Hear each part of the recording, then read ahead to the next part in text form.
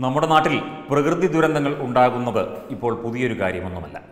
രണ്ടായിരത്തി പതിനേഴ് നവംബർ മാസം അവസാനം ഡിസംബർ മൂന്ന് വരെ ആ ഒരു കാലഘട്ടത്തിലാണ് ഓഖി ചുഴലിക്കാറ്റ് നമ്മുടെ കേരള ലക്ഷദ്വീപ് തീരങ്ങളിൽ ആഞ്ഞടിച്ചത്.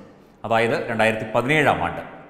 ഇപ്പോൾ രണ്ട് വർഷം പൂർത്തിയായിരിക്കുന്നു. അതിനുശേഷം രണ്ടായിരത്തി പതിനെട്ടിലും പത്തൊൻപതിലും പ്രളയം നമ്മുടെ സംസ്ഥാനത്തെ വളരെ കാര്യമായി തന്നെ ബാധിക്കുകയും ചെയ്തു. ഓഖി അത് അവിചാരിതമായ ഒരു പ്രകൃതി ദുരന്തമായിരുന്നു. പ്രത്യേകിച്ചും തീരദേശ മേഖലയിൽ വലിയ ദുരന്തങ്ങളാണ് ഓഖി വിതച്ചത്. നിരവധി അനവധി പേർ അനവധി പേർക്ക് ജീവൻ നഷ്ടമായി നിരവധി പേരെ കാണാതായി. അതായത് നവംബർ ഇരുപത്തിയൊൻപതിനാണ് ഓഖി വീശി തുടങ്ങുന്നത്. ഡിസംബർ ആറ് വരെ അതിന്റെ പ്രഭാവം തുടർന്നു. നൂറ്റി എൺപത്തിയഞ്ച് കിലോമീറ്റർ വരെ വേഗതയിൽ മണിക്കൂറിൽ നൂറ്റി എൺപത്തിയഞ്ച് കിലോമീറ്റർ വരെ വേഗതയിലാണ് ഓഖി ചുഴലിക്കാറ്റ് നമ്മുടെ നാട്ടിൽ ആഞ്ഞ് വീശിയത്. മാത്രമല്ല ഏതാണ്ട് എത്രയോ കോടിക്കണക്കിന് രൂപയുടെ നാശനഷ്ടങ്ങളുണ്ടായി. മുന്നൂറ്റി പതിനെട്ട് പേർ മരിച്ചു എന്നാണ് അറിയുന്നത്. നൂറ്റി നാൽപ്പത്തിയൊന്ന് പേരെ കാണാതായിട്ടുണ്ട്.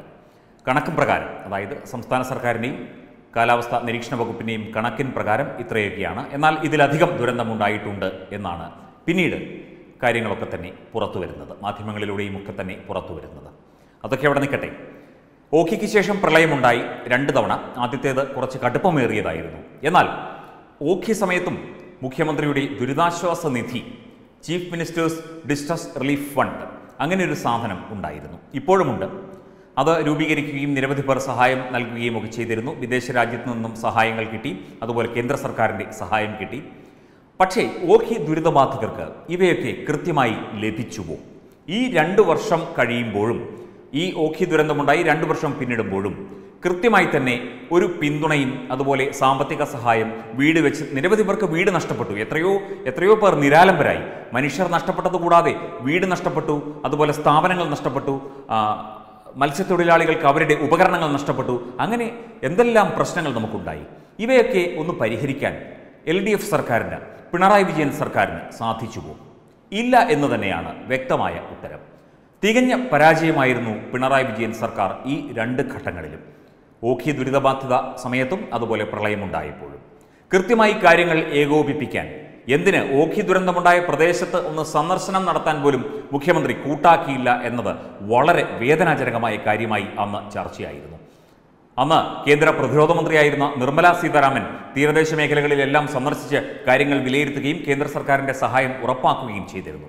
കേന്ദ്ര സർക്കാർ കൃത്യമായി തന്നെ ഓഖി ദുരിതബാധിതർക്ക് അതിന്റെ ഫണ്ടും അതിന്റെ നഷ്ടപരിഹാരവും ഒക്കെ തന്നെ നൽകുകയും ചെയ്തു. എന്നിട്ടും രണ്ടു വർഷം പിന്നിട്ടിട്ടും സംസ്ഥാന സർക്കാർ ഓഖി ദുരിതബാധിതരെ കണ്ടെന്ന് നടിക്കുന്നില്ല.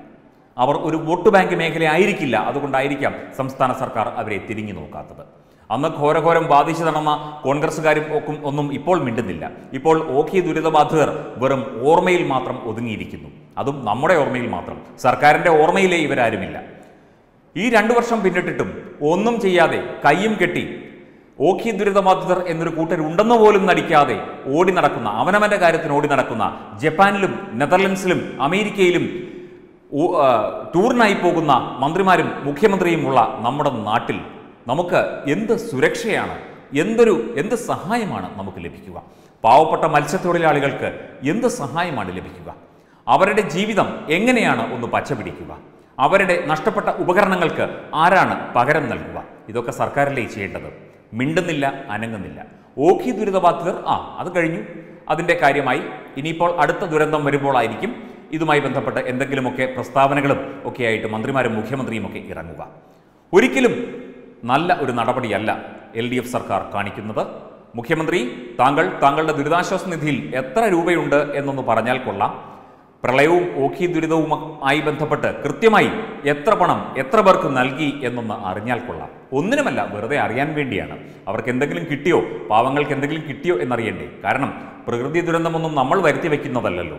അത് വന്നു ചേരുന്നതാണ്. നിർഭാഗ്യവാന്മാരായ നിർഭാഗ്യവതി വതികളായ ആൾക്കാരുടെ മേൽ അത് എത്തിപ്പെടുന്നു. അവർ ദുരിതമനുഭവിക്കുന്നു അവർക്ക് ജീവൻ നഷ്ടമാകുന്നു സ്വത്ത് നഷ്ടമാകുന്നു. അവരുടെ ഉപകരണങ്ങൾ പണിയായുധങ്ങൾ നഷ്ടമാകുന്നു. ഇതൊക്കെ ഇതിനൊക്കെ പകരം നൽകേണ്ട അല്ലെങ്കിൽ ഇതിനൊക്കെ നഷ്ടപരിഹാരമായി നൽകേണ്ട സർക്കാർ കൈയും കെട്ടി നോക്കിയിരിക്കുന്നു. ഓഖി ദുരിതബാധിതർക്ക് വേണ്ടി പിരിവ് നടത്തുന്നു. ചീഫ് മിനിസ്റ്റേഴ്സ് റിലീഫ് ഫണ്ട് ഉണ്ടാക്കുന്നു. അതിൽ കുറേ പണം വന്നു ചേരുന്നു. അത് വകമാറ്റി ചെലവഴിക്കുന്നു. കാറുകൾ വാങ്ങുന്നു ടയറുകൾ മാറുന്നു. ഇതൊക്കെ ഇവിടെ നടക്കുന്നുള്ളൂ. ഓഖി ദുരിതബാധിതരെയൊന്നും സർക്കാർ കണ്ട മട്ടില്ല അല്ല അവരെ കണ്ടു എന്ന് വിചാരിച്ച് സർക്കാരിനോ പിണറായി വിജയനോ അല്ലെങ്കിൽ മന്ത്രിമാർക്കോ ഒരു പ്രയോജനവും ഇല്ലതാനും അതുതന്നെ കാര്യം. കാരണം അവർ ഒരു വലിയ സമൂഹമോ അല്ലെങ്കിൽ ഒരു വോട്ട് ബാങ്ക് രാഷ്ട്രീയത്തിൽ വലിയ സ്വാധീനം ചെലുത്താൻ കഴിവുള്ളവരോ ഒരു വലിയ സംഘടിത ശക്തിയോ ഒന്നുമല്ല. പക്ഷേ പ്രളയമുണ്ടായപ്പോൾ അവർ അവരുടെ വള്ളങ്ങളുമായി എത്തേണ്ടി വന്നു നമ്മുടെ പാവപ്പെട്ട നമ്മുടെ സഹോദരങ്ങളുടെ ജീവൻ രക്ഷിക്കാൻ. അതെങ്കിലും ഒന്ന് ഓർക്കുക. അവർക്ക് വേണ്ട സഹായങ്ങൾ ഉടനടി ചെയ്യുക. വെറുതെ കടലാസ് വർക്കുകൾ എന്നും പറഞ്ഞ് അവരെ ബുദ്ധിമുട്ടിക്കാതിരിക്കുക. ഈ രണ്ടു വർഷം കഴിയുമ്പോഴെങ്കിലും ഈ ഓഖി ദുരിതബാധിതരെക്കുറിച്ച് പാവങ്ങളായ ആൾക്കാരെക്കുറിച്ച് മത്സ്യത്തൊഴിലാളികളെക്കുറിച്ച് ഒന്ന് ചിന്തിക്കുക. കാരണം കന്യാകുമാരി ആ പ്രദേശത്തും ലക്ഷദ്വീപിന്റെ ചില പ്രദേശങ്ങളിലുമൊക്കെ ഓഖി ചുഴലിക്കാറ്റ് വീശിയിരുന്നു. കന്യാകുമാരിയിലെ ജനങ്ങൾക്കൊക്കെ തമിഴ്നാട് സർക്കാർ അവർക്ക് നഷ്ടമായതിന്റെ ഏതാണ്ട് മൂന്നിരട്ടിയാണ് തിരിച്ചു നൽകിയത്. മാത്രമല്ല അവർക്ക് പ്രത്യേക സമ്മാനങ്ങളും നൽകി. ഇവിടെ കുറേ മത്സ്യത്തൊഴിലാളികളെയൊക്കെ വിളിച്ച് പ്രളയ പ്രളയസമയത്ത് ആദരിച്ചതല്ലാതെ ആർക്കും പത്ത് പൈസ നൽകിയതായി അറിവില്ല. അവരിൽ പലരും ഈ ദുരന്തം അനുഭവിച്ചവരുമാണ്. എന്നിട്ടും പാവങ്ങൾ വീണ്ടും നമ്മുടെ നാടിനെ സേവിക്കാനും സഹായിക്കാനും ഇറങ്ങുന്നു. അവരെ ഒന്ന് ഒരു നിമിഷമെങ്കിലും ഓഖി ദുരിതബാധിതർ എന്ന് വേണ്ട സാധാരണ മനുഷ്യർ പാവങ്ങൾ എന്നുള്ള നിലയ്ക്ക് അവരെ ഒന്ന് ഒന്ന് പരിഗണിക്കാനുള്ള ഒരു ദയാവായ്പ് സംസ്ഥാന സർക്കാർ കാണിക്കണമെന്ന് മാത്രമേ ഈ ഓഖി ദുരന്തത്തിന്റെ രണ്ടാം വാർഷിക വേളയിൽ പറയുവാനുള്ളൂ. വെബ് ഡെസ്ക് തത്തുമൈ ന്യൂസ്.